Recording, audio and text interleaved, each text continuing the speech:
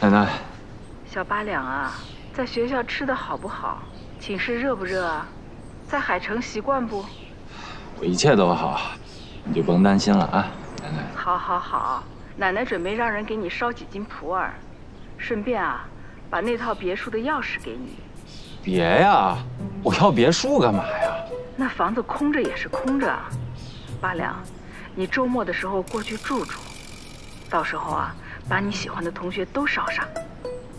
你是个有大出息的孩子，你要好好学习，以后啊，一定要成大事儿。可是奶奶，我这不是赵三金的房子，这是奶奶给你买的。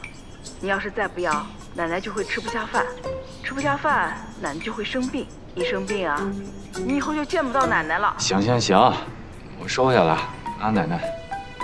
收下就好，收下就好，这才是我的好孙子。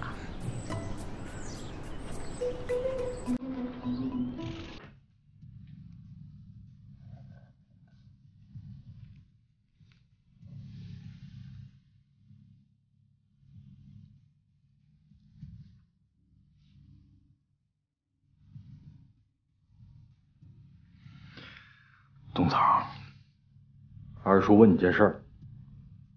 你知道当年让我和你爸入狱，让咱们齐家家破人亡的人是谁吗？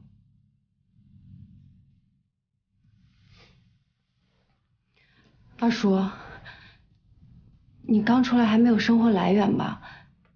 这房子是你自己找的，要不我过两天再给你。我要什么生活来源？咱们齐家的骨气。是宁愿冻死、饿死，也绝不背信弃义、卖友求荣。赵鑫这个卑鄙小人，冷眼旁观也就罢了，竟然勾结他人，趁火打劫。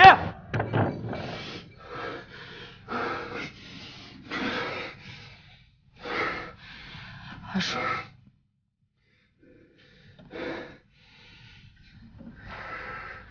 叔，冬草，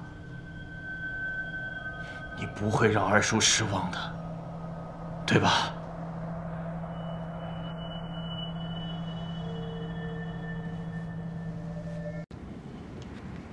下去吧。下面宣布一个喜讯：这次全省物理竞赛和数学竞赛的第一名由高三六班赵家迪同学获得。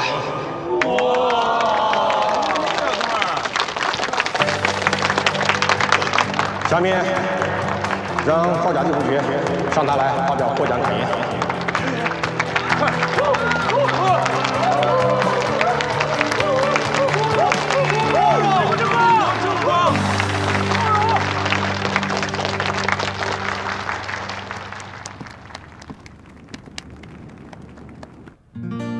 新的生活总会有过去的影子，我应该学会放弃。